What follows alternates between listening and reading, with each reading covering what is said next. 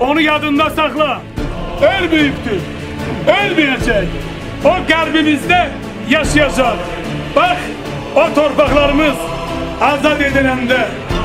Karabağımıza gün doğanda Azerbaycan askeri o dövüşlerde Xankəndiyə, Şuşuya, Laçına, Kəlbəcərə qələbə bayrağımızı sancanda və qələbə paradlarında Ali Başkomandanımızın dediği kimi o bayrakla Bakıya, Azadlık meydanına getirilerek qələbə paradında nümayiş olunanda bir daha kardeşimizin ruhu şad olacaktır.